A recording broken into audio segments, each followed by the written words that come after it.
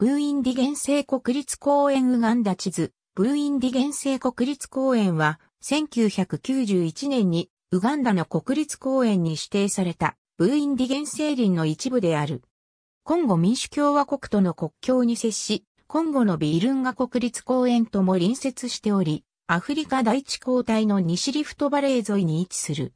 331平方キロメートルの熱帯林を含み、平地、高地の森林環境を抱えている。それらには徒歩での見立ち入りが可能である。公園はコロブスモンキー、チンパンジーや多くの鳥類の保護区となっている。この公園の中で有名なのは340頭ほどのブーインディゴリラである。この頭数は絶滅が危惧されている世界のマウンテンゴリラの頭数の約半分にあたる。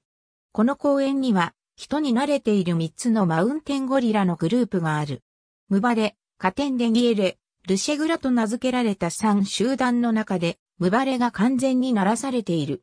ブーインディの原生林はアフリカの生態系の中でも最も豊かなものの一つである。